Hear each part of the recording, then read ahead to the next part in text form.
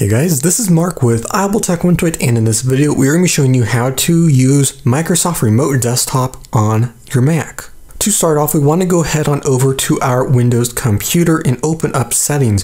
From there, you're going to search Remote Desktop and then pick the option that says Allow Remote Desktop. Towards the bottom, we'll see another option that says Allow Remote Desktop. You're going to want to enable that and then click OK. Now we have to head on over to Command Prompt and you're going to want to type in ipconfig. That will display your IP address along with a bunch of other information. And we're going to want to take note of our IPv4 address. That is kind of the address of the computer that we're going to be accessing from our Mac. So write that down and now we can head on over to our Mac. From the App Store, we're going to want to search for Remote Desktop and download the Microsoft Remote Desktop app.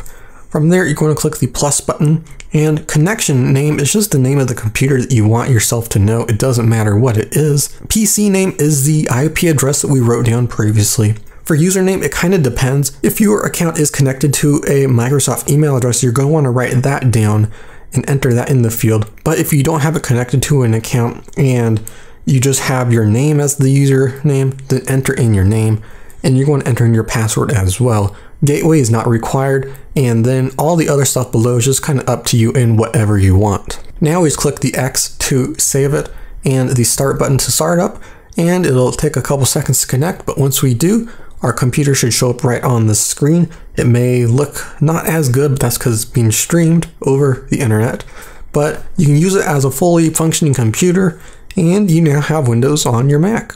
There you go. Thank you guys so much for watching. As always, if you have any questions, let me know down in the comment section below. If you like this video, leave a like and hit the subscribe button for more videos like this. This is Mark with iappletech128, and I'll see you in the next one.